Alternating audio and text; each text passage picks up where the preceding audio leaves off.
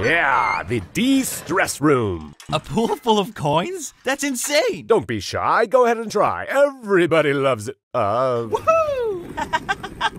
if you like this, just wait until you see what's next.